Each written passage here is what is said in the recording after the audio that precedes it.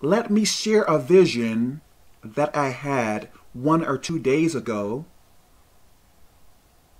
And while I was praying for the last person that day, within one or two minutes, I see these clouds in black and white.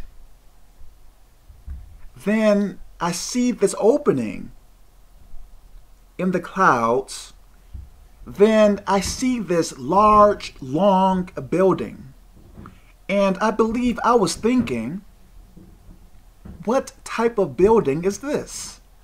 And I believe I was seeing, I guess you can say, different camera views of that building. And the funny thing about that,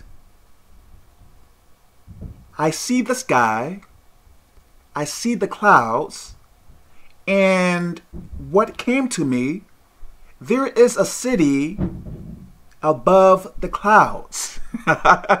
so I believe I was thinking, is this heaven? And as I stated, I was seeing everything in black and white. So as if you were watching, I guess, the older TVs that had no color. And I don't believe that vision is demonic.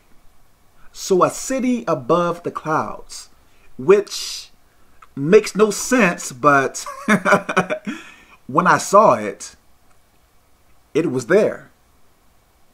So I pray that this makes sense.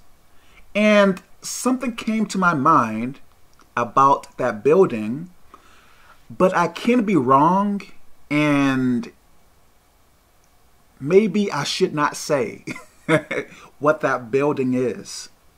So let me stop here. God bless you.